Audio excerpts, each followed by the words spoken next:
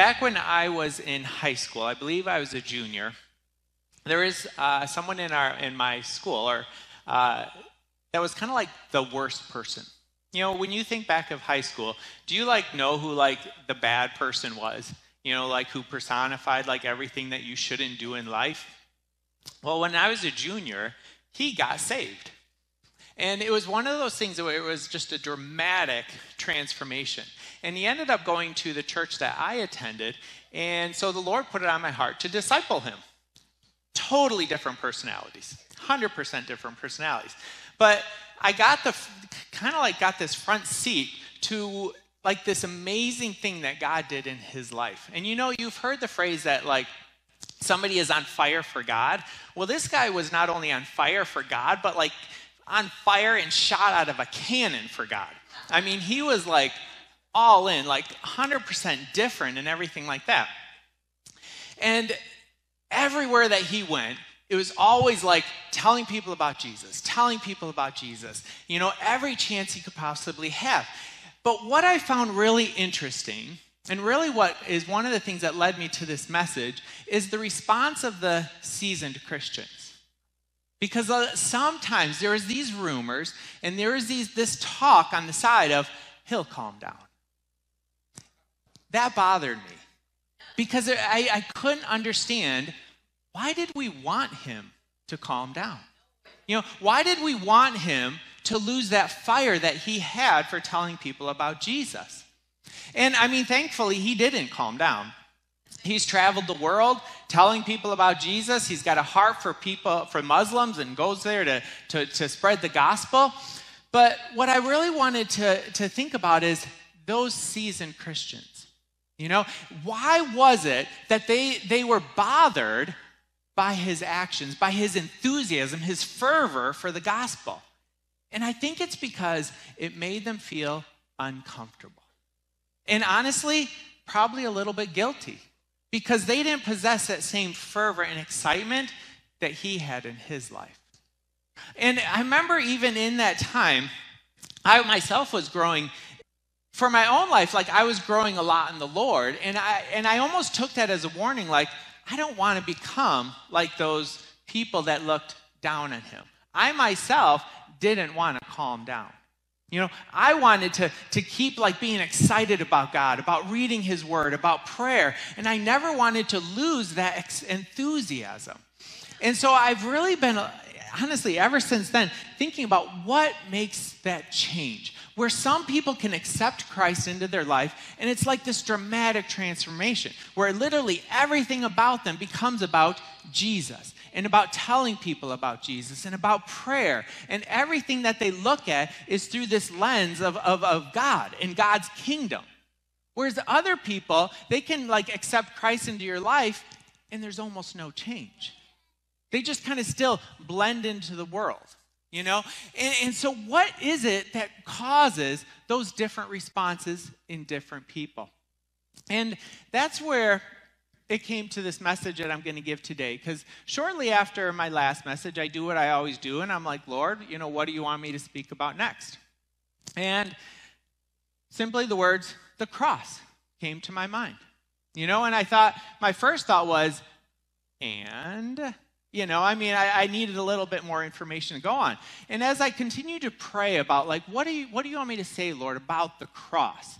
You know, it really came to, to for me, I realized that this might be the difference of what causes some people to have that excitement and that drive for the gospel, and other people to, to just kind of stay steady maybe I, I, you know i don't want to i don't know the exact word to use there but th- they don't have that drive they still just blend in with this world and so what we're going to look at today is how what pri- or what um, um, place the cross plays in our drive for the Lord, our fervency of the Lord. And I think a lot of it is do you get it?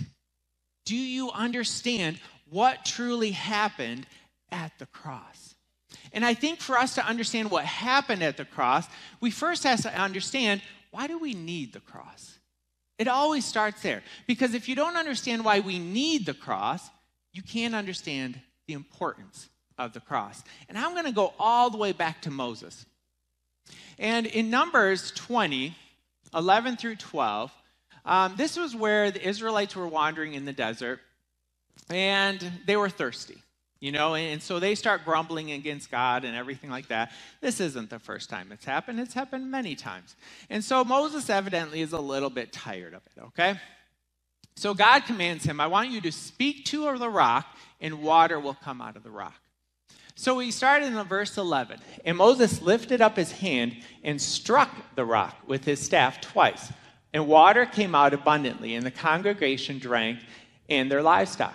And the Lord said to Moses and Aaron, Because you did not believe in me, to uphold me as holy in the eyes of the people of Israel, therefore you shall not bring this assembly into the land that I have given them. Now, let's be honest here. You don't have to show hands. Has anybody ever read this passage? And, and let me, I guess, explain this a little.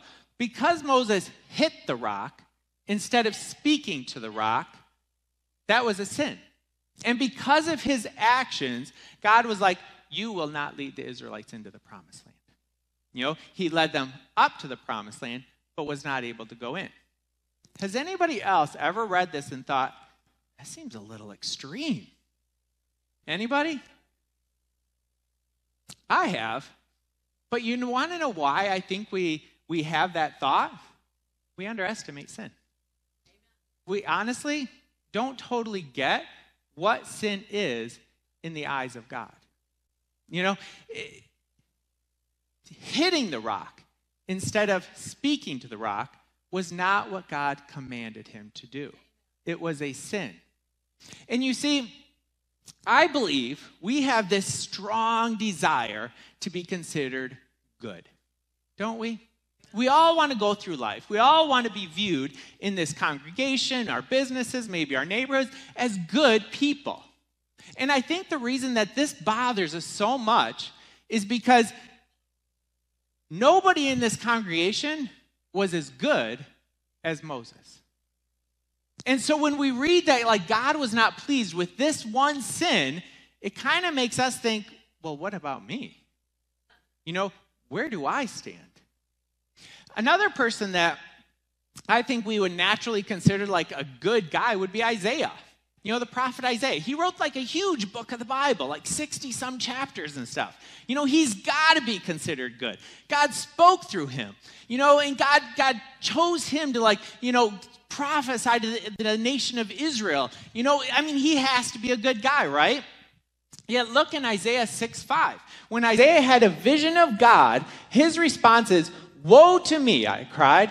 I am ruined, for I am a man of unclean lips, and I live among a people of unclean lips. And my eyes have seen the King, the Lord of Almighty. So, this good guy, this prophet, his response is, Woe to me. I am ruined. I'm a man of unclean lips. Are we sure he was good? In the eyes of God, was he good?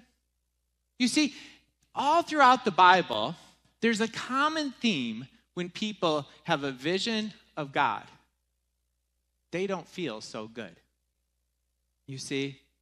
You see, we underestimate what our sin looks like in the eyes of God. And if you're a fortunate person like Isaiah who gets this vision of God, you're reminded very quickly of how you appear compared to God. One time, this man came to Jesus, you know, and he says, you know, um, good teacher. Jesus, I don't, didn't seem to acknowledge the rest. Because, well, I'll just read here. Starting in uh, verse 18 of Luke 18, it says, A certain ruler asked him, Good teacher, what must I do to inherit eternal life? And Jesus says, Why do you call me good? Jesus answered, No one is good except God alone. Now, I think what Jesus said here obviously was, was uh, genius, to be honest, because what he is saying is there is nobody on earth that is good, okay? And this, but the but what we do know is Jesus was good. So if God alone is good and Jesus is good, then we can come to the simple conclusion. Jesus is good, therefore Jesus is God. You know, and I think that was the, the teaching that Jesus was providing to this man. But what I want to focus on is this fact that Jesus says if, if God alone is good, then we aren't good. You know, we want to be good, we want to be viewed as good, but we aren't. And this might seem harsh. You know, you might be sitting there thinking like, why is he like harping on this fact that I'm not a good person? And the reason is is because if if you convince yourself that you are a good person, you minimize your need for a Savior. And that's why this is so important. We need to understand who we are and that we need, we absolutely 100% need to have a Savior. Let me give you these two examples. Let's say you're walking along, okay? You're walking with a friend, and all of a sudden you step, step into this big like pile of mud. Okay? Your foot is a little bit stuck, right? So your friend reaches over, you grab his hand, and you pull your foot out of the mud. What am I going to do? Thanks, I appreciate your help. You know, I could have gotten my foot out, but you know, it's nice to have a friend that can get you out of the mud when you when you step in it, right?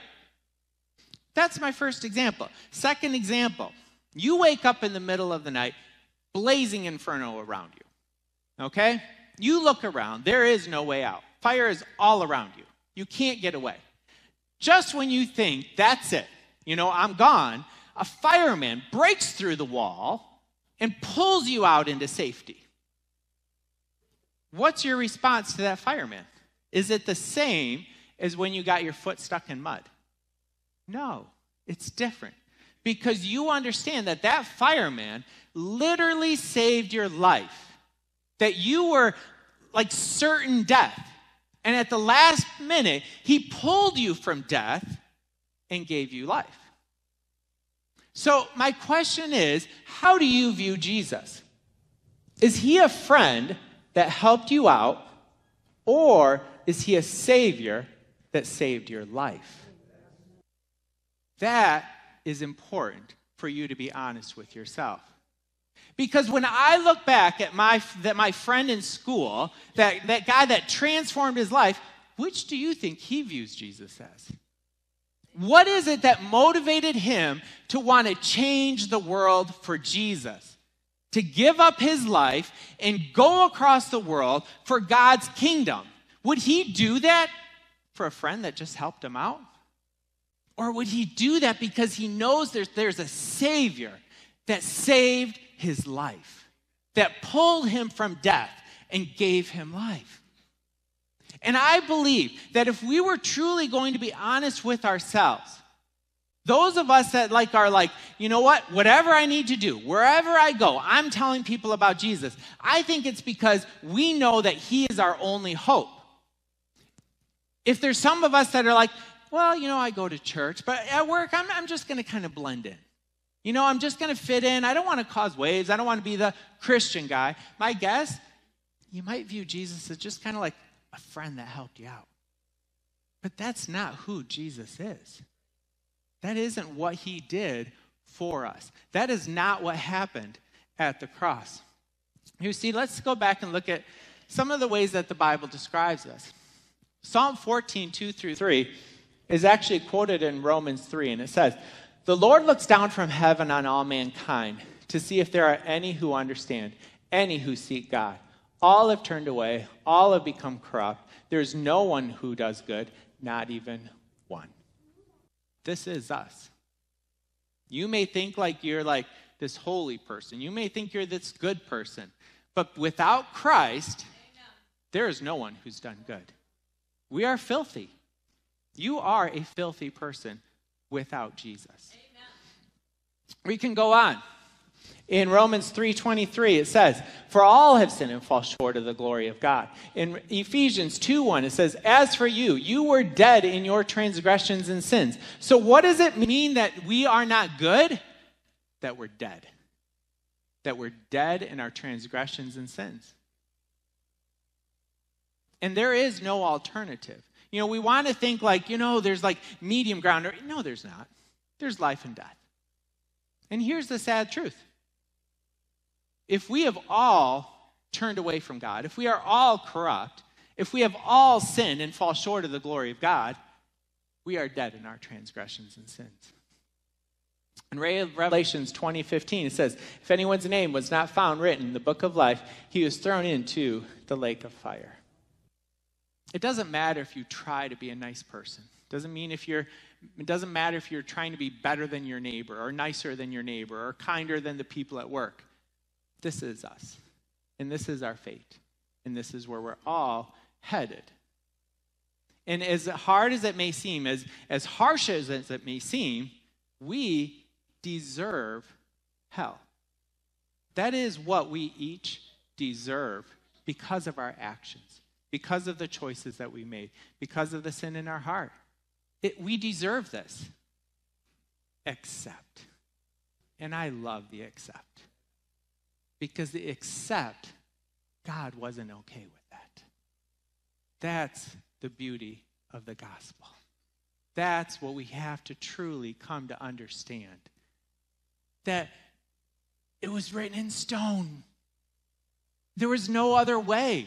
One sin, and that's it. You know, just like Moses was not able to be in the promised land, one sin, you will never see God's face. You will never step foot in heaven, except we have a God that loves us. I love this passage in 2 Samuel 14 14. It says, Like water spilled on the ground, which cannot be recovered, so we must die. But that is not what God desires. Rather, he devises ways so that a banished person does not remain banished from him. That is amazing grace. That is amazing love. And that's the love that he has for you. It's this reason that God devised a plan that you drop everything and are like, He is who I will serve.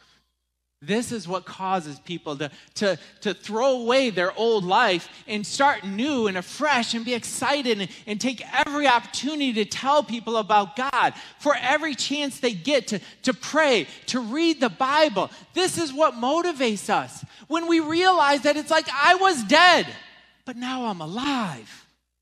Do we truly understand that? Do we grasp who we were? And do we understand what Christ made us to be? You see, what I love is those verses that I that that I, I brought up that described like our, our, our hopelessness. There's other parts to them.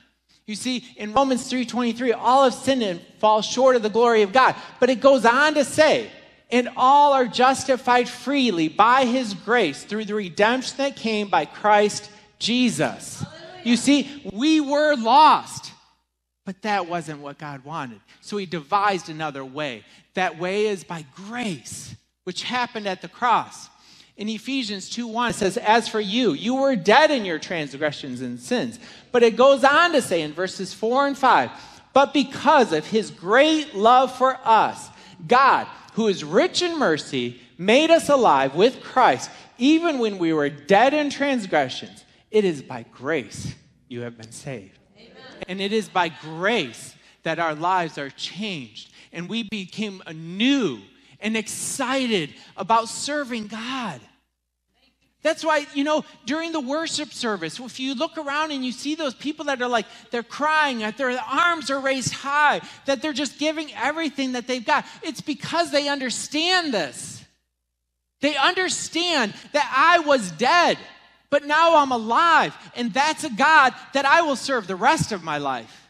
That I will never lose my fervor for, my excitement for, because His grace is new for me day after day after day after day. And He takes away the sins that we have committed, all of them. They're washed away, and we are made white, and we are in God's eyes made pure. You know, I, I, I Rachel actually shared this with me, and somebody said, like, because of the cross, God looks at Jesus and sees you. And God looks at you and sees Jesus. He took our place. He switched places with us. Even though he was perfect, the only one that didn't deserve this, but he switched with you so that you're viewed as pure in the eyes of God. That's a God that I will serve with all my heart and with everything that is within me.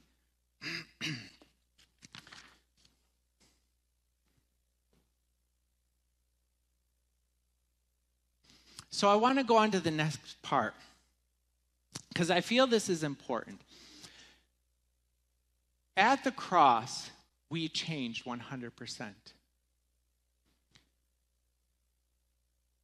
But so often, I think we underestimate all that Jesus did at the cross for us. What Jesus did at the cross was complete. Everything that we needed happened at the cross. In Colossians 2 13 through 14 says, When you were dead in your sins and in the uncircumcision of your flesh, God made you alive with Christ. He forgave us all our sins, having canceled the charge of our legal indebtedness, which stood against us and condemned us. He has taken it away, nailing it to the cross. So, and, and I love that, that legal indebtedness, because we owed something that we could not pay. So Jesus took that and, and nailed it to the cross. But there's a great deception that's going on. And that deception is that I believe that the, the devil, since the day Jesus died on the cross, is, is spreading a lie. And the lie is that even though you might be saved, you will never be free here on earth. And I think that's a lie that we have bought into too often. Because in Galatians 5:1 it says, "It is for freedom that Christ has set us free. Stand firm then, and do not let yourselves be burdened again by the yoke of slavery." You see, and too often we say, "Yes, I become a Christian." But you know what? I just walk around with, with that guilt of sin. I walk around with those addictions, with the, the shame, with the stress, with the anxiety. I walk around with all of this stuff because it's like that's that's just who that what I am. You know, I'm just going to continue to struggle. Yeah, I may go to heaven, but boy, I'm just going to struggle here on earth. But you see again in Galatians 5, it is for freedom that Christ has set us free. And what I want to ask is, is for what Jesus did at the cross, was it limited or was it complete? If Jesus says that you can be free, can you be free? Yes. If Jesus says you can be free, will you walk in guilt? Will you be, be walk in stress and anxiety and worry? You can be free. And that's what I want to stress about the cross today. Do not limit the power of the cross in your life. Once you believed in Jesus, once He washed away all of those sins, once He made you new, every single promise in the Bible belongs to you. Every single one of them. Now, don't be mistaken. That does not equal an easy life. In John 16 33, it says, I have told you these things, so that in me you may have peace. In this world you will have trouble. But take heart, I have overcome the world. I am not saying that we're going to like walk in a, a valley of lilies the rest of our life because we have Jesus. No, Jesus literally says you will have trouble. And there's a great argument to make that as soon as you become a Christian, you will have more trouble. But what I love is what that sandwiched between. In me, you may have peace so we will have trouble, but yet peace in the midst of the trouble. Why? Because Jesus has overcome, He's defeated Satan. You see, but too often we, we believe that great deception that it's like, yeah, we will have trouble, and that's all we cling to. Trouble, trouble, trouble. Stress, stress, stress. Anxiety, anxiety, anxiety. Guilt, guilt, guilt. And we just walk around over and over and over, like making that our whole life. But Jesus says we're free. In Matthew 11 28, he says, Come to me, all who labor and are heavy laden, and I will give you rest. Is there anybody here by chance that could use some rest? I could. Because I do have a tendency to take that stuff upon me. You know, to load it onto my back, the stress of life, the worries of life, the difficulties of life. And I'm like, all right, You know, I'll carry it. That's just, you know, what life is like. Is it? Or did Jesus tell me that he can take it? They, did Jesus tell me that I can have rest? Doesn't mean I'm not going to be sad, sorrowful. You know, there's things that are going to cause sorrow. God is sorrowful at times. But yet, in the midst of it, we have peace. We can have joy. You can have everything that you need to defeat the power of darkness in your life. We do not have to carry that any longer.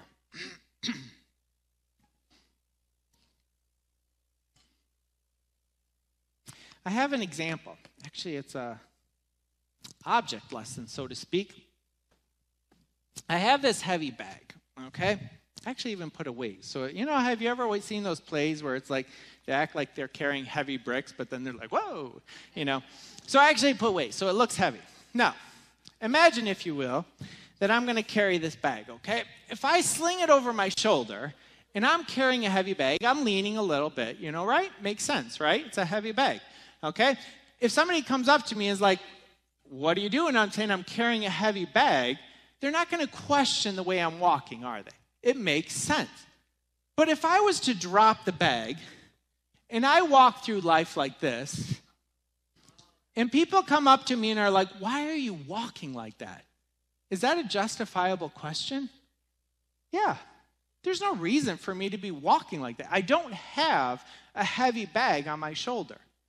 Now, let's take this into a spiritual sense, okay? Before I knew Christ, I had my guilt, I had my shame, I had my doubts, I had my struggles, I had everything in the bag that we walk around with and we lean over because it's a heavy bag okay? All of our sin. We're just dragging it around everywhere we go. But you see, when I believed in Jesus, I lost the bag, I lost the burdens. Too many of us are still walking around like this. And you know, in Hebrews, when it talks about the, the, the host of heavens looking down at us, I believe that, you know, that they're looking at us thinking, why is he walking like that? Why is she walking like that? Why are they walking around like they're carrying a burden? And I think the reason is the devil has convinced us we are. But we have to understand that we are no longer carrying that burden. So don't let people look at you and say, Why are you walking like that? Look at your own life right now and ask yourself are you walking like you're carrying all that garbage before you knew Christ? You know Jesus. You stand tall. You know, because you are saved, not by your own strength. We saw that clearly. But by the love of Jesus Christ, you do not have a bag filled with burdens on your back any longer. You are free. Walk like a free person. You know, stand firm in, in what the Bible says, the promises that He gives you. You see, I'm reminded of like when Moses stood before Pharaoh and God commanded him to say, you know, let my people go, you know, so that they may go worship God. You know, and I believe that that like in a sense when Jesus died on the cross, he declared to the devil and to the demons and to all the darkness, "Let my people go." You are his people. You have been let go. You do not have those chains and that darkness over your life any longer. You have been set free to worship God with, with a clear mind without the stress, without the anxiety, without the guilt and the shame. Let it go. You're not carrying the bag any longer. You've been set free by the power of Jesus Christ. And that has nothing to do with your own strength or ability. It has everything to do with the God that saved you. That's why we lay our life down. That's why we say, I give everything over to you, that you may be glorified, Lord Jesus Christ, because He is the one that made us alive, that gave us life in this world, we have one life to live. One life. You do not get a second chance. You do not get a repeat, a do over. You have one life to live. What does that life look like? What are you choosing to make your life about? Are you going to continue to walk around doubting Jesus Christ? Maybe not even believing in Jesus and, and believing that you're this good person, that somehow on your own you're going to earn your salvation on your own. It's a lie. You can't do it on your own. Your only hope is in Jesus. There's one way, and one way only, and that's through the blood of Jesus Christ. You know, that is our hope, and that is the only way. And I challenge you that if you are struggling in this area, if you feel like you're, you're, you're carrying that bag of, of the burdens and everything like that, and, and it's kind of like obviously the theme of this message is start looking at the cross. You know, in um, Revelations 3 1 through 3, it says, I know your deeds. You have a reputation of being alive, but you are dead. Wake up, strengthen what remains, and is about to die. For I have found your deeds unfinished in the sight of God. Remember, therefore, what you have received and heard. Hold it fast and repent. There's going to be days where we all struggle. I struggle.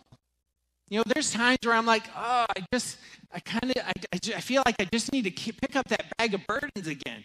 You know, I just feel like, you know, I, I, I'm, I need to carry that because I feel bad or, or something's just weighing on my heart or, or I'm struggling to, to have that, you know, that, that belief or maybe even the faith. You know, and we want to, to, to, you know, pick that up again. I love what this verse says. Remember. Don't ever forget. And what are we supposed to remember? What he did. On the cross. It was complete. There was nothing lacking in what Jesus did for us. You know, we don't need the cross and. There is no and. What Jesus did at the cross set us free. You know, that's what we need to do. When we start, rem- like, the devil starts reminding us of our past, take it. Remember, it was nailed to the cross. That guilt of your past, nailed to the cross. You know, the shame that you may feel about what you did, nailed to the cross. It's not meant for you to carry any longer. It's time for you to be set free, to believe everything that God has for you and everything that He has for you in a future with Him. So I challenge everybody today remember, remember the cross. You know, remember what He did for you and allow that, that, that salvation to encompass you, to fill you. You know, I talked earlier about that friend who had that fervency. If you are lacking that fervency in your life for going all out for Jesus, remember what happened at the cross that you were dead in your transgressions and sins. And in that state, He set you free and He gave you salvation. Let's pray. Lord Jesus, I just pray that you would truly touch our lives, Lord Jesus. Lord, help us to remember, to truly remember every single day what you did for us on the cross, that you have set us free. And Lord, I just pray that, that you would rise up within us this a fervency, a passion for serving you, Lord, that, that we never thought we would have before, Lord. That we would become not just a church, but an army for the living God ready to go forth and, and live our lives for God's kingdom and not our own, Lord Jesus. And I just pray this in your most powerful and holy name, Lord. Amen.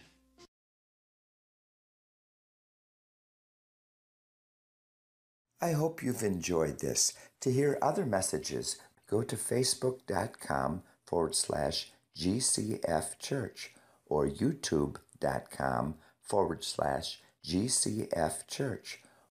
You may also follow Georgetown Christian Fellowship with our app. Go to either iOS or the Play Store for Android and search for Word Server. That's one word, Word Server, and install the free application. There you will get all of our messages, including streaming capability.